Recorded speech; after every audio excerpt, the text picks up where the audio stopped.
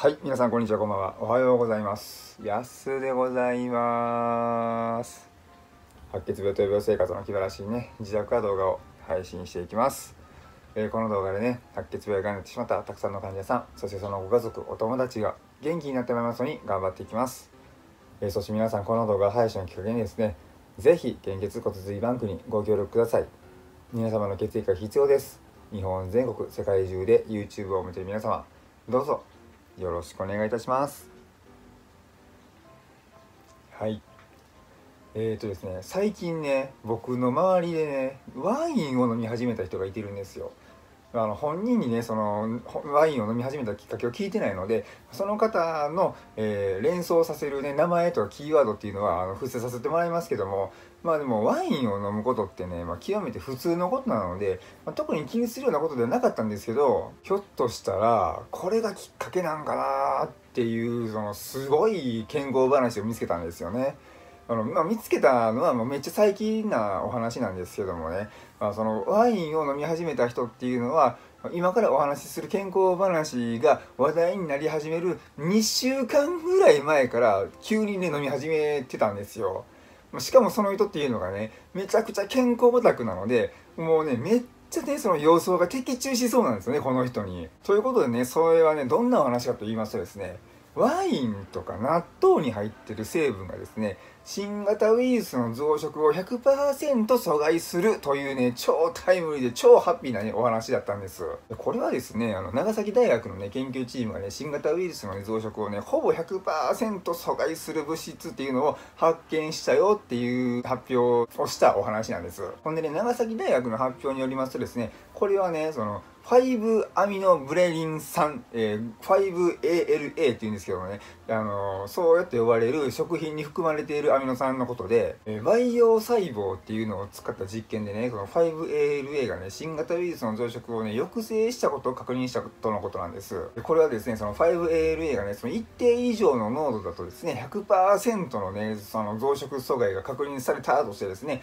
あの国際誌にもね、の論文がね、バーって掲載されたんです。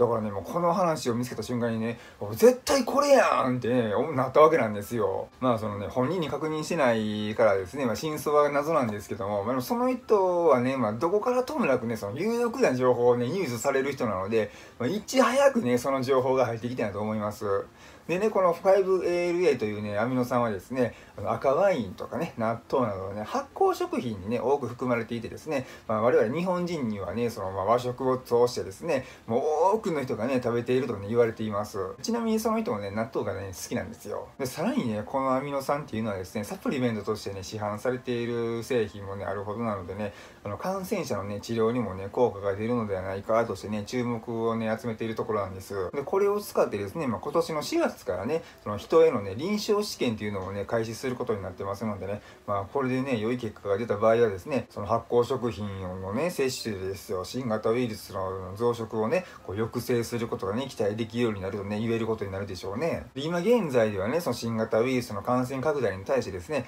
ワクチン以外でもね、その効果的な治療法の開発がね、こう緊急的にね、求められています。そこで注目されたね、5ALA っていうのはね、天然で合成されているアミノ酸ででしてその高い生物学的利用能からね、抗がん療法やね、健康食品などのね、様々な目的で使用されています。そしてね、この研究においてですね、5ALA がね、新型ウイルスのね、原因ウイルスである SARS-CoV-2 の感染をね、この培養細胞においてですね、強力にね、抑制することをね、示したんです。で、この抗ウイルス効果っていうのはね、明らかな細胞毒性も、なくてですね、まあ、それはあの人の細胞とあの非人細胞、人じゃない細胞のね、両方でもね、認められますした。でそのためにですね、その 5ALA はね、新型ウイルスに対する抗ウイルス薬のね、候補としてね、さらなる研究を進める価値があると考えられます。いやー、すごいですよね、ほんまにね。で、このままね、4月からね、その臨床実験がね、進められてですね、新型ウイルスに有効的な結果が出まくったらですね、それをもとに特効薬や予防薬がね、開発されて、その新型ウイルスによる感染拡大をね、こう阻止できそうですよね。で、これはね、もう新型ウイルスだけじゃなくてですね、インフルエンザにもね、このようなものが出てきてほしいですよね。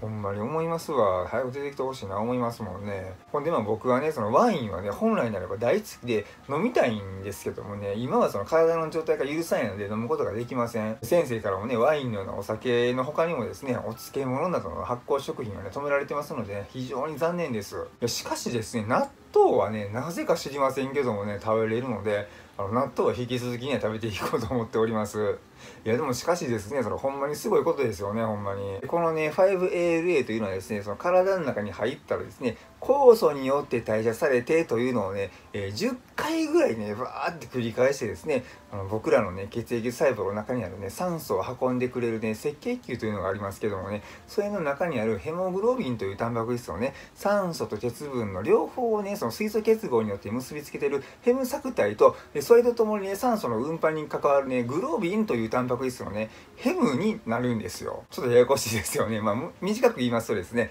この 5ALA というのはね酵素によって10回ぐらい代謝を繰り返した後にですね酸素を運ぶヘモグロビンのヘムの方になります。というね大切なアミノ酸なんです。その他にもですね 5ALA というのはですね最終的にはミトコンドリアの中でもヘムに変化します。ヘムはですね先ほど出てきましたグロビンだけではなくてですねシトクロムというねエネルギーを作り出すために必要不可欠なタンパク質のね成分ともなるんです。でまたねすでに10年以上前からね健康食品やねあの化粧品とかねサプリメントとかね、えー、飼料とか肥料にねあの活用されるね非常にね安全性の高いねアミノ酸なんですよ。その他にもですね 5ALA はねがんの分野ではですね脳腫瘍とかねあの膀胱がんのねこの可視化をね目的としたね医薬品としてもね認証されております。でまたねその 5ALA はねそのミトコンドリアの機能ね向上させることが知られております。でまあそんな様々な分野でね活躍していてね非常に価値の高いね 5LA がねこの度ですね新型ウイルスの増殖をねその阻害してくれることがね分かったんです。先ほども言いましたけどもね4月から臨床実験が始まります。それと並行してね日本初のねワクチンも認証されたのでね今年はもう春からね全国的にその新型ウイルスに対抗していける時代がやってきそうです。もうねこれらが実現すればねもうオリンピックもね開催される可能性もね高くなりますのでねもういよいよ世界がね明るくなりそうですよね。でもねまあ何があるか分かりませんのでね、まあ、今できる予防策もねしっかりしていって、まあ、できる人はね、まあ、それにプラスしてあの赤ワインと納豆をねまた始めてみてください、まあ、そんな感じで今日は以上です。えー、今日も最後まで見ていただきましてありがとうございました。バイバイ。僕は元気です。